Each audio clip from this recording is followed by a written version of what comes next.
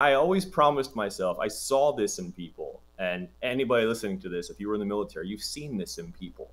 The E6 or like O3 who's just like rotting toxic in a position because they're like, well, if I just ride out this five years, you know, I'm going to retire. A job with such high stakes is not like a well, fuck it type scenario. Hi, I'm Daniel Bell. And I'm Patrick Brennan. This is AfterSOF. Today, our guest was Remy Roe. Remy Roe is a retired U.S. Army Special Operations Combat who is currently a staff member at the Stanford University School of Medicine Center for Immersive and Simulation Based Learning. He spent 15 years in the op- Army operating across six continents and serving multiple combat deployments to Iraq and Afghanistan. Today, Remy is currently a PhD student studying developmental psychology, and he has a master's degree in personality psychology and sociology. He currently lives in Menlo Park, California, and enjoys hiking, traveling, and coaching Olympic weightlifting in his spare time. Remy has a great story and a great journey uh, from his interesting family life growing up in Compton, California, uh, to the incidents that made him join the military and the Army, transitioning to SOF medicine, becoming a Purple Heart recipient, uh, earning three master's degree, and, and now a professor at Stanford University, one of the leading institutions in the world, uh, and working on his PhD.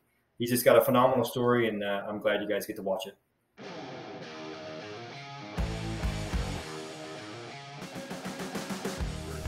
You joined the Army when we were in combat. What was it that drew you into joining the Army and and the particular MOS and everything else you did? Uh, I didn't want to go to jail. that's, uh, that's a good motivator. Yeah. Fun start. uh, yeah, 2006. I was um, I was like a punk ass kid, man. Uh, and I, I'm I'm from South Compton, California. Okay. Um, I had gotten in trouble again, and a judge was like, "Dude, I'm sick of you. You're you're you're gonna go to county." At this point, I was uh, I just turned 18, and at the time, I was lying. I like put on the alligator tears, and I was like, "I'm gonna join the army and change my life," because this was the height of the surge. Mm. So I already had a neck tattoo at this point. If you had a pulse, they were like, "Come on, boy!" Right? so uh, um, the judge was like, "No way, you can't get in the army." Uh, I brought a recruiter to court, uh, and he was like, "Yeah, I can get him in."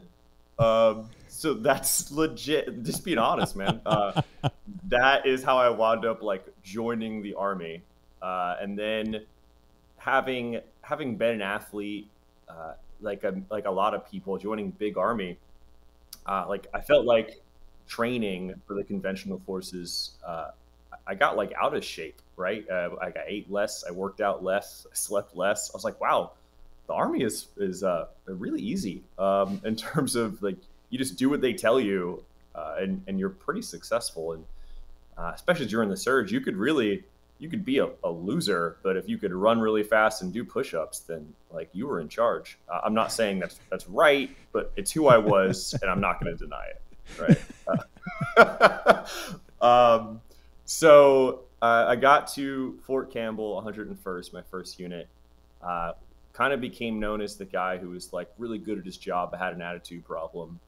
Um, and we've all met guys and girls like that that you can if you're good you can get away with a lot right um, again i'm not saying it's right but uh, so i wound up for that deployment to iraq uh, this was in 2007 so like a lot of people in my generation like immediately after school it was time to deploy um, so i uh, my unit was like hey uh, fifth group fort campbell needs support at like this patrol base we're going to laterally transfer somebody so I, I, was the choice. I was the in shape guy who they couldn't stand to work with. Um, so they got rid of me. Uh, uh, that's, how, that's how the army gets rid of problems, me, right? Yeah, just push um, them off. so uh, I wound up with fifth group, and that changed everything. That was well, you know, I'm I'm super in shape. I'm super smart. It's like good for you, man. All of us are. Um, and I had really awesome mentors who um, called me in instead of calling me out uh, and really put time in to develop me uh, and it it absolutely changed my life and my perspective. Like the experiences downrange as like an 18 year old guy who who thought I was a grown man, uh, in combination with mentorship from men who had like seen it, things I couldn't imagine seeing, but hadn't become cynical and had tried to like prevent me from making their mistakes. And uh, it was just uh, it was amazing. So I, I, wouldn't be who I was if um, some guys didn't see me as like the piece of shit that got sent to them into like an opportunity for sure. Mm, that's awesome. So that that was in 2000 so this this deployment is from 07 to 09. It was like 18 okay. months long. Okay. Uh, that that that one I remember was like I saw people come to country after me and leave before me. mm, yeah, yeah. That's a lot. I mean, a year and a half. That's that is a long time. it was a long. Yeah, it was. Uh, it was. I needed it, man. I think just like the way things lined up. Um, yeah. I, I definitely I needed that for sure. Yeah, and so you know, real quick on a side note, you are wearing sunglasses, so was. Can you just talk to us about that a little bit? Yeah, yeah, yeah. Um, I forgot we've been talking. Right? Yeah, so, yeah. Like, yeah. so anybody watching uh, later in the story uh, in Afghanistan, um, I was uh, suffered a blast injury, and I got a TBI. Um, and this is actually really relevant to the. It sounds like a plug, but it's really relevant to the the AfterSOF podcast. Is that um, after the blast, um, so they they do the whole like enemy marksmanship medal. That's uh, called the Purple Heart, right? It's the enemy marksmanship badge. Um, so uh, after I got after I got that, I was suffering from a lot of symptoms, including um, chronic migraines, insomnia, anxiety. I was real uh, easily irritable, and every doctor in the army I, I spoke with was like, "It's PTSD." Like you have you have post traumatic stress disorder. These are all symptoms of trauma you've gone through. I was put on anxiety medication. Um, these were the days Daniel and I have talked about. You know, before you get on the plane to go in country, they were like, if you can't sleep, go over there and you'll get a bottle of Ambien off that table. A bottle. Um, yeah, wildly over prescribing times. Um, and then I got out uh, and I go to the VA in Palo Alto, which half of the doctor there are the doctors there are Stanford doctors, um, and I saw a polytrauma team. Um, this was the first time like an optometrist, neurologist, a primary care all talked. Um, so I got imaging done, saw an optometrist, and they were like, "Hey, you have a traumatic brain injury. Like that's where all these symptoms are coming from. You have basically like superhuman photosensitivity. Um, so these look like uh, cool guy glasses. They're actually like this because they cover my whole eye socket, um, mm. so no ambient light can get in, and they're fitted to my head, so I can like do handstand walks in the gym and like they stay on my face, or ride roller coasters with my kids. And uh, from the outside, they look like jet black shades, but from my perspective, they look like clear glasses. Okay. Um, wow. Yeah, yeah. So the result is I look like a complete jerk everywhere I go because I wear them the most when you shouldn't wear sunglasses, like movie theaters, driving at night. So I'm just a permanent Kyle. Um, but it it has uh, it's it's changed my life. Like I'm not taking anxiety medication. I don't get headaches. I'm sleeping again. Um, and I think that is a big transition um, into civilian life. Is I'm I'm viewed and treated as a whole person uh, Iraq and Afghanistan aren't the stem of all my problems. And I would say that about anybody with a with a background in SOF who who makes it in, whether it be through selection, ranger school, whatever. Uh, chances are you had some kind of trauma uh, before the army or military that gave you the grit to make it through that selection process, right? So you mm-hmm. tell people like, "Hey, man, I had issues way before Afghanistan." yeah. yeah. South Compton. well, and so going back to kind of diving into that 07 09 like you you came back from from that deployment and you know where'd you go from there? Yeah so i came back um and i still i still definitely had some i still do right? But i still had some some personality kinks to work out because i kind of i got a taste for blood um in terms of like doing what I thought was the real mission. You know, like living with uh, with uh, the locals in a country, like educating, mentoring. Uh, I felt like I was making a difference. Whereas uh, when I was with uh, Big Army, I, I, just felt like I, I, could drop dead today, and it just it wouldn't make a difference. Um, and uh, so I came back, and I, I, really wanted to keep doing that, but my unit, 101st, and I think a million people have this story like me. Every school, unit, organization is willing and ready to take you, but where you are isn't willing to give you up, right? Like the the permanent people shortage. Um, so they were like, there is no slot for you to go to this school, or you know, you can't go do this. Uh, so group uh, and the guys I worked with there were like, hey, we have slots. Like, you want to go to Ranger School? Like, you want to go to Jump School? Um, so every opportunity I got was uh, group gave me their slots, like to go do stuff. Um, and that was really awesome to the point where my unit 101st just laterally sent me over uh, to group support because they were like, you know, fine, like go. Uh, and that was, yeah, that was so cool. Uh, I'm really grateful. That took, that took a lot. Um, so, but then I found myself in that environment and I had uh, the first time I really experienced like massive imposter syndrome.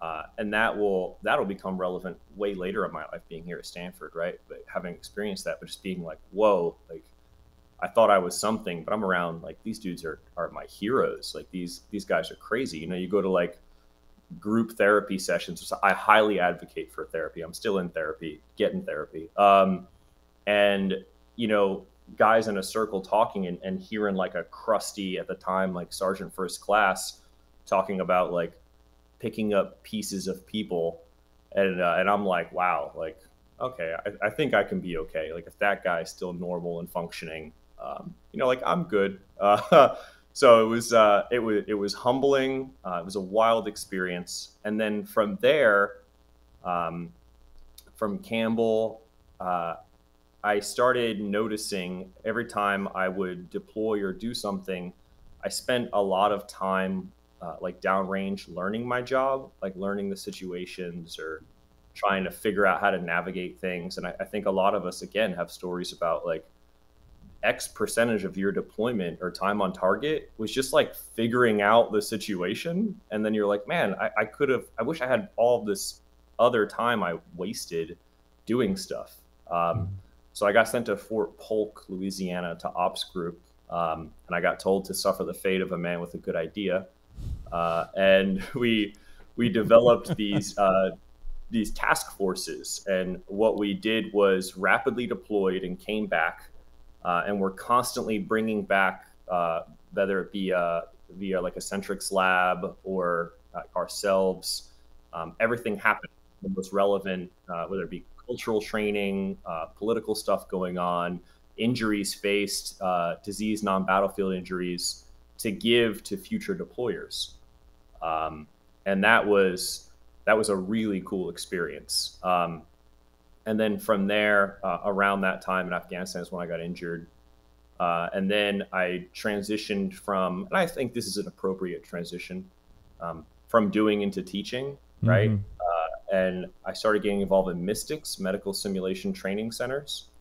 Uh, so I was an instructor writer at a MSTC in Fort Polk. Uh, then I got moved to Fort Jackson, and we helped write uh, kind of POI for like TC3 there, uh, and we were training um, like initial entry trainees, and that went really awesome. I went to Hawaii. Uh, that was my first time training multinational forces. So I, I, was the lead instructor at the MSTC in Hawaii, working with all the branches there, uh, and that was really awesome. Uh, and then my my final like duty station was Fort Hood, Texas. Uh, gross is uh, the that's the yeah that was gross, man. Um, that's the largest MSTC in all of DoD.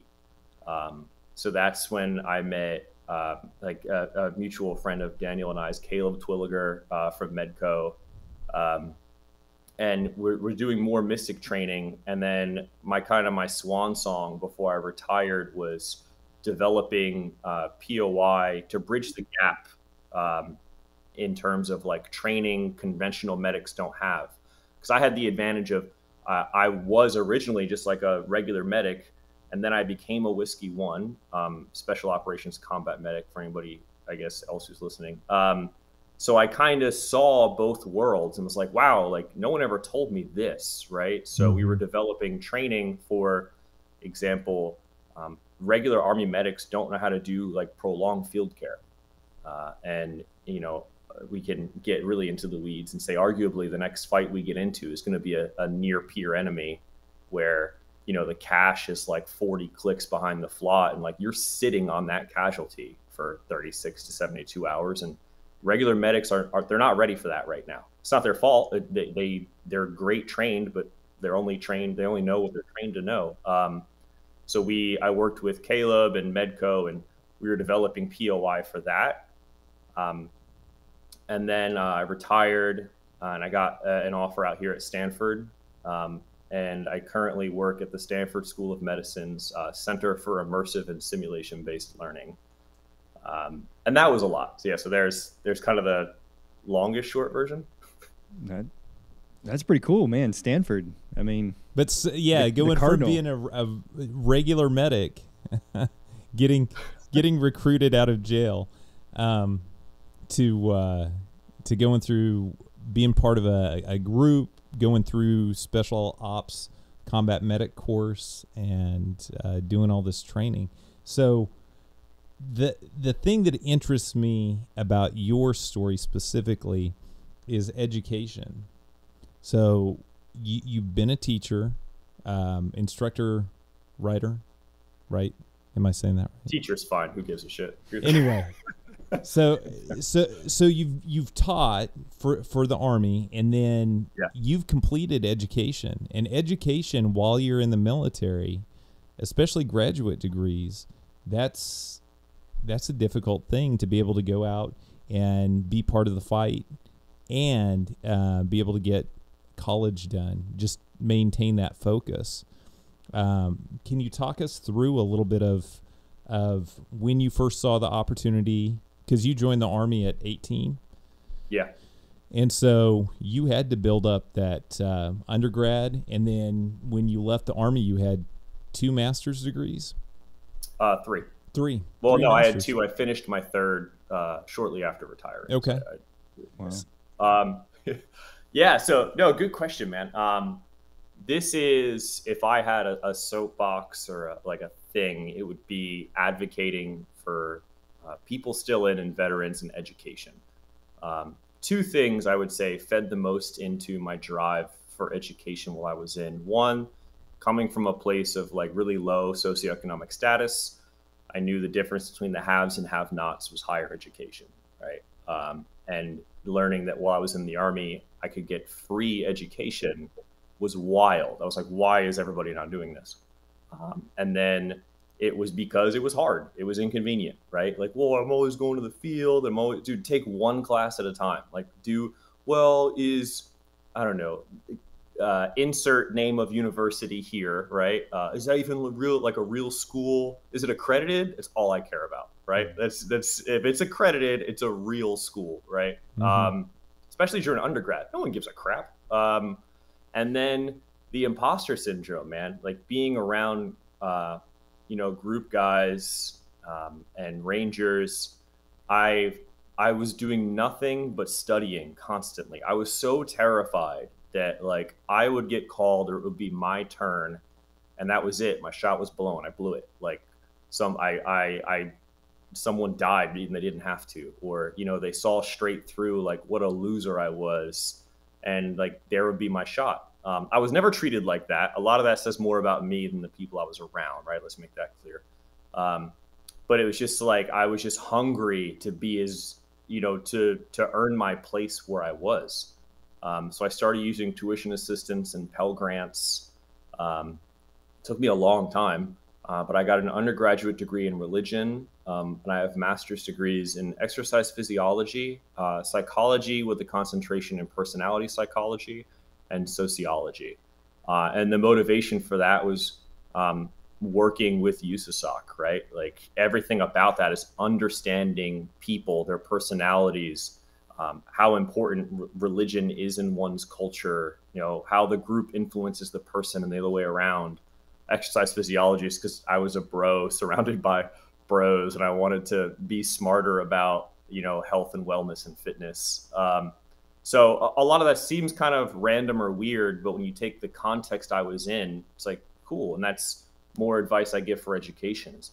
study things you're a nerd about, like you're passionate about, especially when you get to the graduate level. It's like you're you can't just grit your teeth through that man. Like you you have to believe in what you're doing or, or be hungry for it. Yeah i mean that's um i'm just kind of look reviewing everything we've talked about in your story right? Like it's the i don't want to say the american dream right but it's like the opportunity that's presented right in this country is someone from your background maybe not you know your like you said, your socioeconomic background, probably getting into a little bit of trouble, right? And oh, and yeah. and you know the military, for all that it is, it does offer opportunity, and and you took advantage of that, getting education. Um, I, I mean, your journey from where you were at 18 to where you are now is is pretty incredible, and all the things you've had to overcome to get there.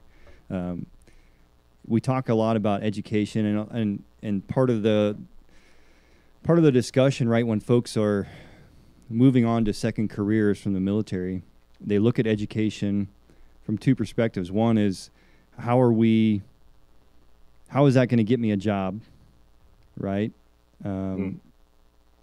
And then second you know how prestigious is the university right yeah, yeah. we we do think yeah. about the prestigious uh, aspect of of whatever university. we've been in uh, discussion with people who talk about their um, MBA program.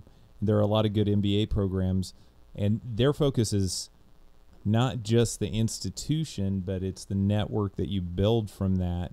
So I, I see some of these graduate um, and post postdoctoral programs kind of having uh, the it's not just the education, but it's you're putting yourself in an environment where it's what we've always done. You're you're putting yourself in an environment where there are high performers, and ultimately that's what that's about.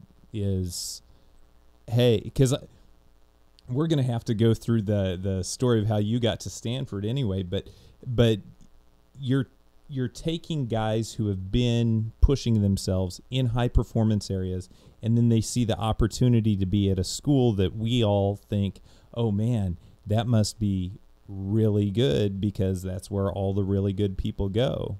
But it it's just following the trend that a lot of us have set in our lives is is hey we're going to always be where things are harder more difficult things are happening but there's that big network part to it that the guys that we've talked to, the network is a huge part of that. Mm-hmm.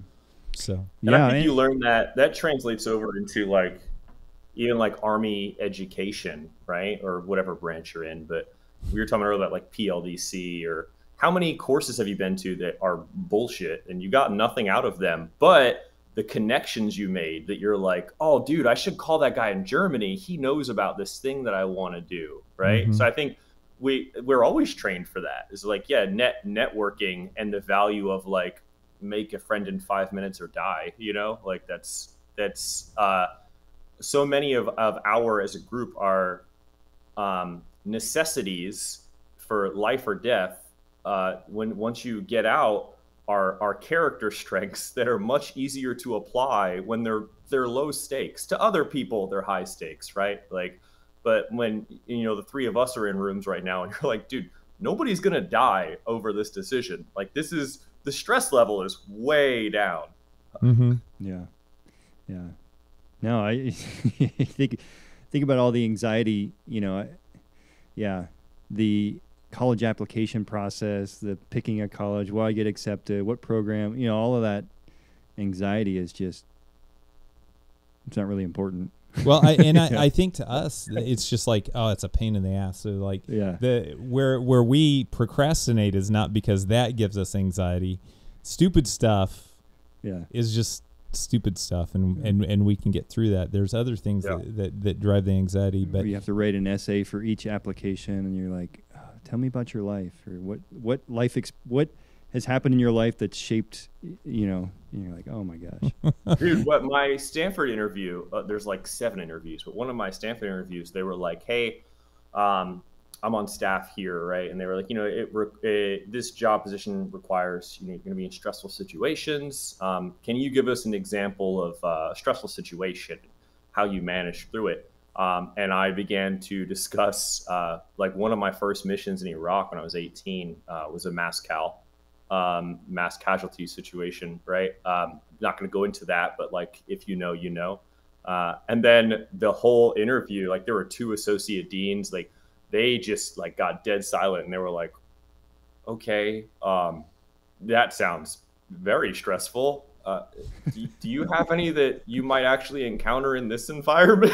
uh, and you're like, oh, oh yeah, okay. So then, like, then it, I just thought of like an everyday situation for us is just like, oh, here's a, an example of me like navigating stress. But yeah yeah, for sure. Like just doing interviews and, and realizing like, uh, oh wow, like I'm in a different world now, and that that is a, to me an excellent segue into um, having. I'm just over a year out now, um, and that reaction from people has actually made me realize how kind of uh, like isolating or lonely it can be being a veteran because you you can no longer empathize with a lot of people without it being like a a huge ordeal or like an attention grabbing thing. Whereas like if, if the three of us were to make a joke right now, like, oh my God, like that smell, like that's what like burning flesh smells like. It's an extreme example, but you get it. And you're like, mm-hmm. oh dude, yeah, that's so rotten. I wish I had like a wild tiger to wash it down, you know? uh,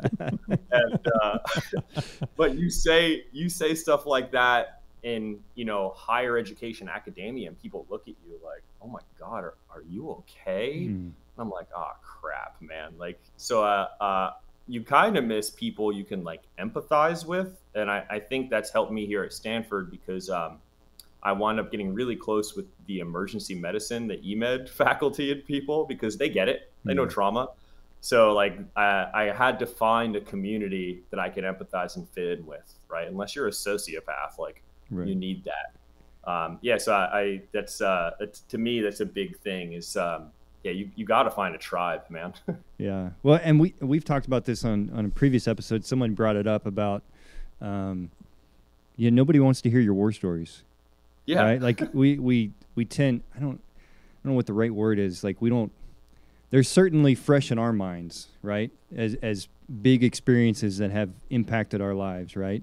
But to everybody else, like that's not what they want to hear, or they want to hear it in a social setting, not in a professional setting, right? They want to mm-hmm. hear your story of some quote unquote cool thing you did overseas um, in a social environment, but when you're when you're at work, they don't want to hear about your combat experience, right? They want to. And I would take that one step farther and say sometimes not only do they not want to, sometimes I don't want to tell yeah. them, right? Yeah. Like how many times are I, my my glasses, right? Like I don't I don't have to, and I don't, but I don't want to explain a traumatic event that permanently disabled me every single day because you want to know about why I wear sunglasses, mm-hmm. right? So just like you know, you say something and people are like, "Whoa!" Like, can you talk to me about that? I'm like, no, I, I really don't want to. Like a lot of guys, I'd say who who war story people, I say there's typically one of two dudes, liars and sociopaths, right? Mm-hmm. Like either either you're insane because human life is human life and that that had to do something to you or you're full of crap. If if that was your experience you would not be like giggling through this story right now you know? Yeah, yeah. well eh, but I, and two like and I want I want to hear your perspective and I know we have a, a format we got to follow but the your and you hinted on this sort of your your journey to sort of perspective of your experiences, your combat experiences, and and seeing how other like transitioning that viewpoint, right? Because I think that's mm-hmm. that's a sticking point for a lot of folks that that are getting out and finding second careers. Is is is how do you how do you change your perspective of of those were the things that were defining and, and maybe even promotable things in your military career now you've got to translate that in a different format, right? You got to translate that to a civilian society of like, yeah, this is how I deal with stress, or these are. What what was your journey like with that? I mean, you your interviews you mentioned that, but like. Mm-hmm. Yeah, so I think it's um, one, it's realizing that you're you're not a special snowflake. Um, so all the trauma, the experiences, I could I could talk to a, a Los Angeles paramedic right now who could make me look like I had an easy career, you know? So one, you need to we need to humble ourselves and be like, all right, I'm not that special. There are parallel experiences, right? And that's also encouraging that there are parallel experiences. Um, and then getting through like awareness of the self. So, for example, um, realizing that um, in the military, uh, especially in combat operations, you're often taught to um, exercise initiative in the absence of orders, right? Like you need to move forward and carry things out knowing that you have limited information. All right. So that is a conditioned psychologically, that is a conditioned response in me. Um, knowing that about myself makes me have to recondition that behavior because in academia, uh, I, I can't act with limited information. I need to get in information gathering mode and then make well thought out decisions that I I soundboard uh, to my left and right or even you know above me sometimes. Um, so I think the the two short answers to your question are find parallels to your experience because they are there, um, and be aware of yourself and you know why it is that you are uh, the way you are so that you know you can recondition any behavior you can figure out you know strengths um, and and know that there's there's a time and a place for those strengths. Yeah, yeah. That. Th- that. We've talked uh, hours, right? yeah, and. In, in in you applying that, you know, figuring out where your strengths are and everything. You served 15 years. Is it 15 years in the army? Yeah, 15. Uh, June 06 to June 21. So you made a decision to get out earlier than most people. Yeah. And there was something that played into that. We we had a good conversation a while back where uh, the guy that we were talking to um, had said, "Plan, you know, make a plan for what you're doing." But mm-hmm. I I know I don't want to get into a long conversation, but uh, about what I did, but I knew the 10 year mark was coming up. So I said, Oh, I'm, I'm ready to get out. I made that decision prior to hitting that halfway mark. You went over that, but there was something that influenced you in, in your decision making process to get out. And had you gotten picked up for Stanford prior to, what did that look like for you? Yeah. So, good question. Remember, we talked about this. We make up, we as people make up these completely imaginary boundaries and goals and rules like so many guys um, and like disclaimer guys and girls right i'm not just in my experience it was a mostly male environment right before i like get canceled uh, uh, but so many guys hit that they see 10 years as like well once i hit 10 i'm doing 20 like bro that's another 10 years of your life mm-hmm. like what do mm-hmm. you mean like in what other universe are people like I might as well do another 10 years. That's mm-hmm. insane. Mm-hmm. Um, and then I always promised myself, I saw this in people. And anybody listening to this, if you were in the military, you've seen this in people. The E6 or like O3 who's just like rotting toxic in a position because they're like, well, if I just ride out this five years, you know, I'm going to retire. Like, first of all, get out of the way so that other people can excel. Like, just, let's just say that. Get out of the way because there's a person waiting to get promoted and do great things, and you're just sitting in their spot. And two, a job with such high stakes is not like a well fuck it type scenario, right? Like you you can't just sit there to collect your five more years for retirement when like people's lives and like governments are on the line. Um, so for me, it was once I realized there were two events. Once I realized that I was not buying what I was selling, I was it clicked. I was like, it's time to go. Like I can't be that guy. It's time to go. The first one was when I got medevaced. Um, woke up in the hospital in Landstuhl. The very first thing anybody said to me, like conscious, like "Whoa, I'm not dead," uh, was, uh, "Hey, we need you to get in this wheelchair um, and go down to the first floor so we can like do the paperwork to cut off your combat pay. Um, and yeah, that's when I was like, and I'm I, like, my feelings are hurt about it. They were then, right? Because um, yeah. I, I thought I was more important than I was. Um, that's when I was like, the army does not care about me. Like I'm giving my life, my blood, sweat, and tears, a divorce. like mm-hmm. uh, I'm giving my life for something that is like, hey, you're not dead. I need you to go downstairs so we can fix the pay situation. Uh, we need to, we need to start taxing you. yeah, that like that was the first like hint of, a, of an abusive relationship to parallel. I'd be like, like, like, I don't think I I think this is a red flag. yeah. Um, and then the whole time you're in the army, you get told it's it's in a, it, for me uh, often it's an abusive relationship that you're like you, you think I'll never do this good. Nobody will ever want me as much as this does. I'll never be as successful as like you just keep telling yourself these lies. Um, and then um, when I was uh, building that POI at the MSTC at Fort Hood, and at Fort Hood, this is around the time where like every weekend, like that that young woman um, mm. was killed in her unit armory, um, which is terrible, yeah. right? They were um, they were finding people's bodies off post and seeing the response of um, you know, every weekend getting calls about suicidal ideation um, and DUIs and domestic violence and, and very real tragic things that are that it happens so often they were being made light of or just looked over. Um, and I was like, I I don't believe in this anymore. Um, and so I went to the doctor and I was like, hey, um, you can look at my medical record. I earned a Purple Heart back in 2012. Um, I have like permanent profiles to just keep going. Like I'm done. Uh, um, I just want to retire. Uh, so I medically retired at 15 years. Yeah, yeah.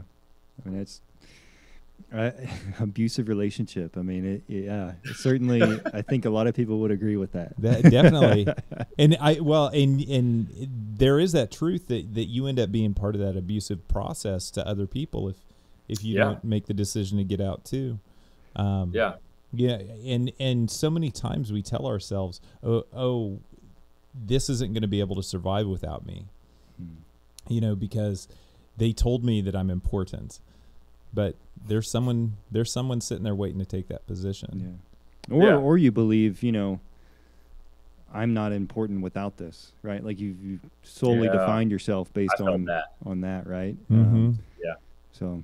Yeah, or like if the true answer is this wouldn't survive without me, then me is the problem.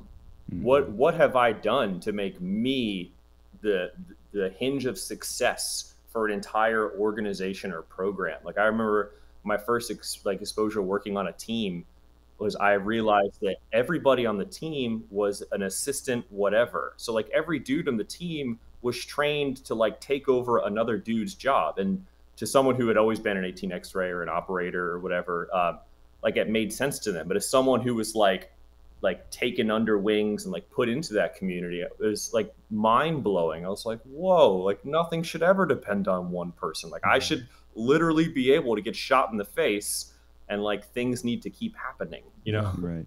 Make yourself replaceable. Yeah. Yeah, yeah. so the you got out at 15 when did you get recruited or when did you apply to get into uh, Stanford? So I um, I was finishing up my third master's degree, um, and of all things, say that so casually. Just my third. Um, it's a sim, sim simple. I was hoping it was yeah. like um like a punch card, you know, like a green beans coffee. Like yeah. if I get enough master's degrees, will they make me a doctor? You get one for free, right? yeah. um, so um, I was on LinkedIn of all places, uh, and I was again terrified. Uh, it, it, would I admit it then? No, but it's true. I was scared of like this is all I've done my entire adult life. We're always told what potential we have, or you hear um, like podcasts. You know, you guys, or you you you hear things. You're like, man, like the SOF community crushes it. You know, like there's there's job offers abound, and I just heard crickets, you know? Uh, yeah. So, it, like all things, it was self motivated. So, I got on um, LinkedIn um, and a few other like sites and networking. And I told myself uh, every day I would do three to five job applications. Um, and this is when I was like six months out from retiring. Um, and I stuck to that every single day. I, I submitted three to five job applications, which was redoing resumes and cover letters for like all of them, right? Because it needs to be individualized to that job. Uh, it was really hard work. Um, I got rejected exponentially more than I got callbacks and stuff like that.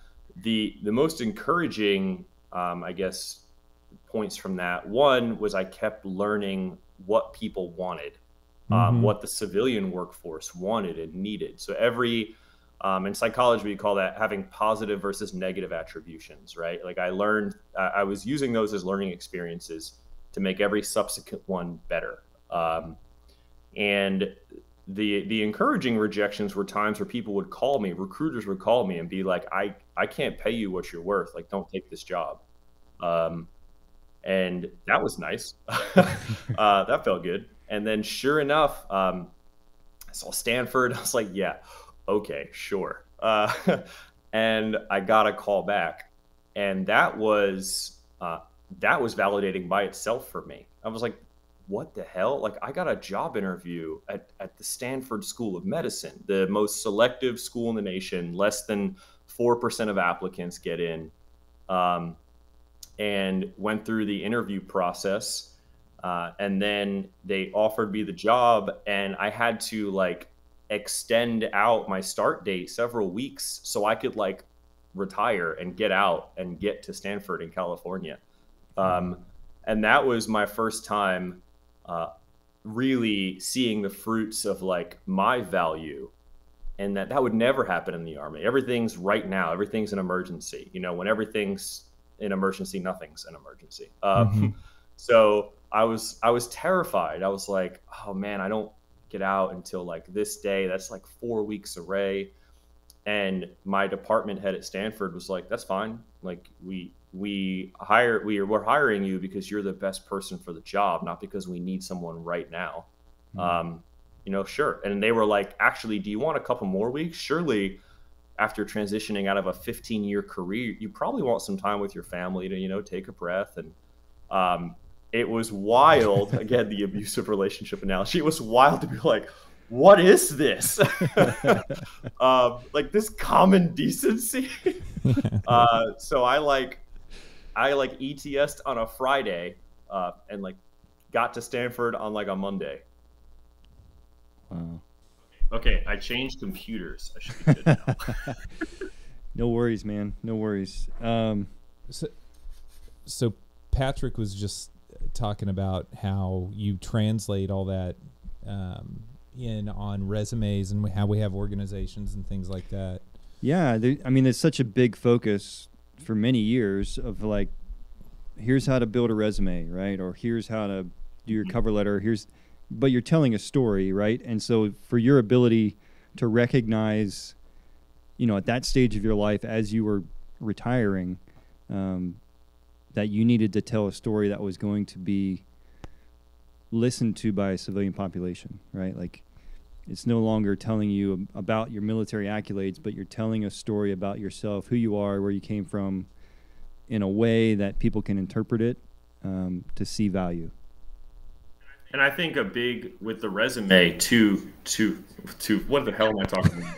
Is that German? uh, um, two important things I've seen is veterans tend to go one of two ways. One, they come up with this like 20 page resume that is just it's too much man i get it sergeant major joe bob like you won the war on terror but like that's not relevant to this job or this mba right mm-hmm. um, but then there's the other way around that uh, guys don't give themselves enough credit or they can't see the parallels of their experience and someone's like the only job experience on your resume is the army for 15 years surely you did some things in the army you know like you, you can't just say i did this you know like you, you had to have some transferable skills in there so i think we often tend to go one of two ways mm-hmm. yeah no doubt i mean it's that's that's the hard part, right? Is is reconditioning yourself and translating that experiences into civilian life, right? Like those parallel experiences. Uh, yeah, hundred percent. So what what um so, so, now yeah, you're at Stanford. So you're at Stanford doing a PhD in what kind of psychology? Uh, developmental psychology. So the big question is what are you doing with that going forward? Um, what's your what's what's yeah, your so goal? my goal is um, with psychology, my my goal in research is to understand the relationship between religiosity and personality across culture. Uh, and that comes from uh, my own background, and then obviously having traveled the world and seeing uh, religion is such an integral part of culture, and culture is such a key part of the development of a person. And development meaning throughout one's entire lifespan. Developmental psychology isn't just childhood, adolescence, right? We're constantly developing. Uh, so it's like, hey, what's that like?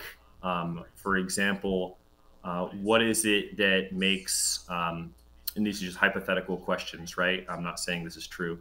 Uh, is there something about Islam that makes Muslims more or less likely to develop depression or PTSD than Christians or Jews or Hindus, right? Like, um, we need to understand these things so we can treat people um, with more uh, like knowledge of culture.